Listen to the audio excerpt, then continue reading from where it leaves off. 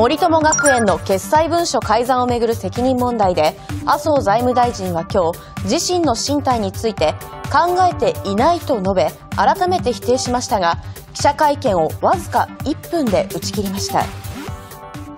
今後、こうしたことが起こらないよう文書管理の徹底等々必要な取り組みを全力を挙げて進めていくことにより大臣としての職責を果たしてまいりたいと考えており進退については考えておりません。麻生大臣は記者の最初の質問に対しペーパーを読み上げた後国会日程を理由に1分ほどで会見を切り上げました。麻生大臣は昨日も改ざん問題の調査結果や処分について自身の会見を15分間と制限して切り上げた後事務方だけで4時間半会見していました。